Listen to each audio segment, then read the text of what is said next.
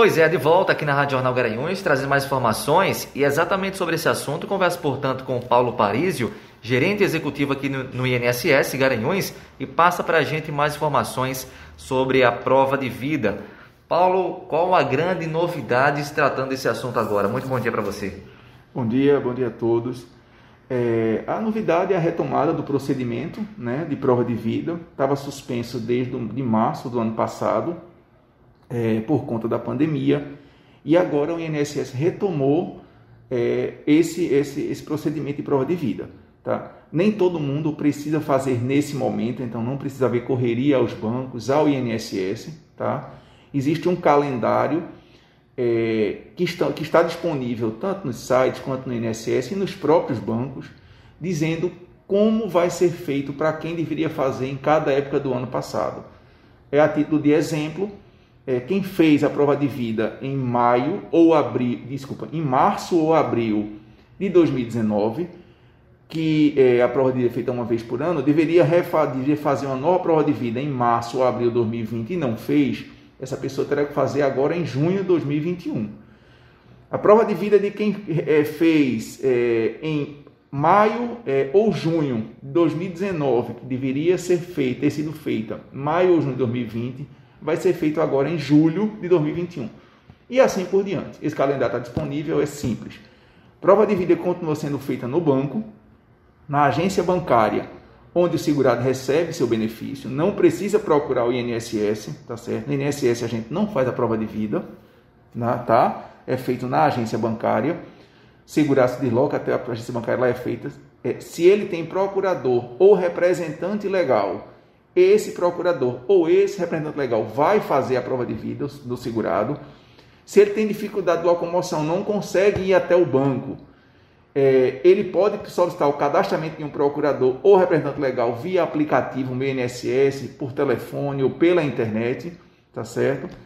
E uma questão que está sendo muito, que está sendo, tá gerando muita dúvida é a questão da prova de vida digital, feita pelo aplicativo meu INSS está é, tá disponível para alguns segurados, tá certo? Nem todo mundo nesse momento vai conseguir fazer a prova de vida digital, porque para isso o INSS precisou de um, de, uma, de um batimento com algum banco de, com bancos de dados de outros órgãos.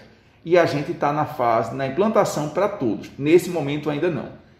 Quem pode fazer? Lá no meu INSS, tá, tá, lá no aplicativo, o meu INSS, é, ele, ele mostra quem pode fazer.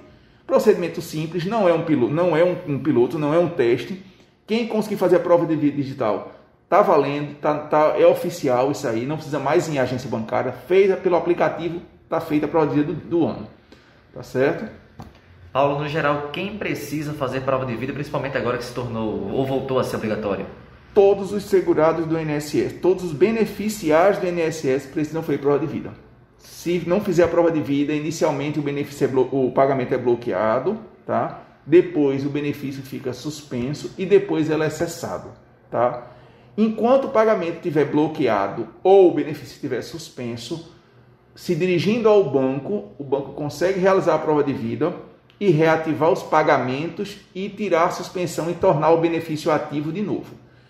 Se chegar ao ponto de o benefício ser cessado, normalmente isso se dá a partir do oitavo mês sem receber, o benefício é cessado pelo motivo de estar suspenso há mais de seis meses, tá certo? E aí, o benefício cessado, o banco não consegue mais realizar a prova de vida.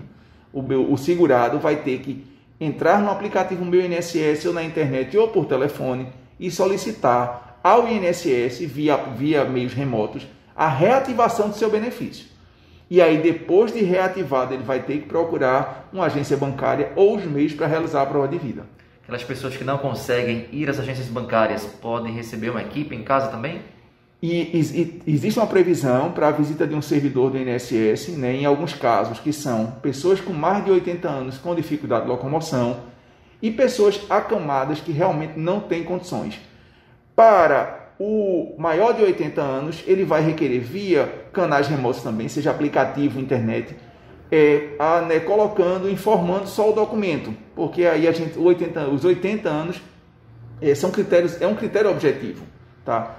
Para aquela pessoa que é acamada por, por alguma enfermidade, para o, ao fazer o requerimento da prova de vida presencial lá do, do servidor, ele precisa anexar um laudo médico mostrando da impossibilidade de locomoção. O que acontece com o servidor que perde esse prazo e como é que ele pode estar atento a esse prazo também? Olha, o prazo é todo ano é mais fácil. Como vinha sendo feito era mais fácil, porque a gente já sabia. Se eu fiz em março, eu tenho que fazer em março do ano que vem e assim vai. Essa situação atípica que a gente está passando, ela gerou uma, uma, um, períodos diferentes, até pela retomada agora da prova de vida.